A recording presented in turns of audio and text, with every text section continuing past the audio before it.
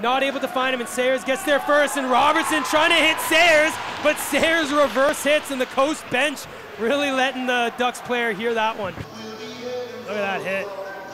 Nice job by, by Sayers. That's going to be a tripping penalty there to um,